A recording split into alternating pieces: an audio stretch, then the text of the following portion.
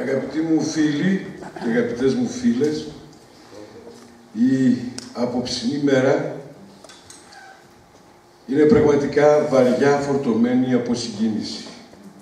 Πιστεύω ότι έχει αφήσει τα ίχνη της στο ιστορικό της πόλης για το μελλοντικό της ταξίδι.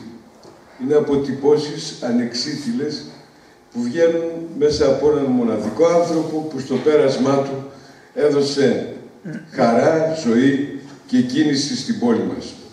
Σας ευχαριστώ όλους